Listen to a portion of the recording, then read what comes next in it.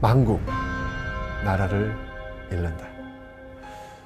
어떤 심정일지 상상조차 할 수 없습니다. 우리의 주권을 상실한 지옥의 그날. 오늘은 8월 29일입니다.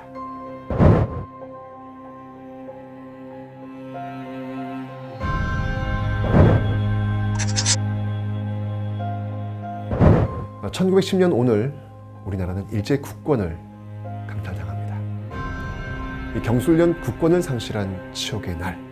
그래서 우리는 이 날을 경술국치일이라고 하죠.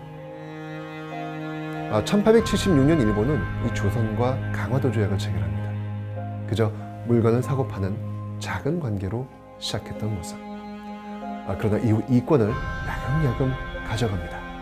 최초의 철도 경인선, 러일 전쟁을 위한 경부선 경의선. 이 그 다음은 경제 시스템마저 정확히 들어가죠. 우리나라 돈을 일본 화폐로 바꿔나가는 작업.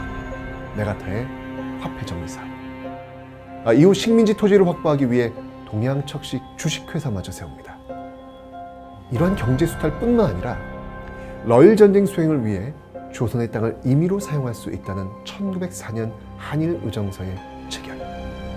내정 간섭을 위해 고문을 파견한 1904년 1차 한일 협약의 체결. 외교권을 강탈했던 1905년 일사늑약의 체결.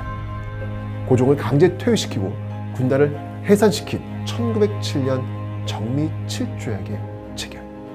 정말 치밀할 정도로 정교하게 우리의 이권과 주권을 잠식해 들어온 일본. 그들은 드디어 이 땅을 완전한 일본의 식민지로 만들려고 합니다. 1910년 8월 22일 이 형식분인 어전회의가 개최되고 이 이완용과 데라우치의 이름으로 한일 병합조약이 조인되죠.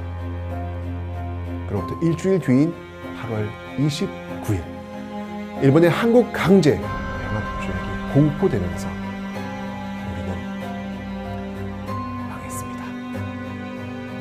이 참담한 기억의 역사가 아주 먼 옛날이 아니라 고작 100여 년 전 일이었다는 믿겨지지 않는 이 사실. 경복궁이 일장기가 걸렸던 참담한 모습. 다시는 이런 모습을 우리 뒤에 오는 사람들에게 보여주어서는 안 되겠죠. 아픈 역사조차도 기억할 때 우리의 역사는 건강해지니까요.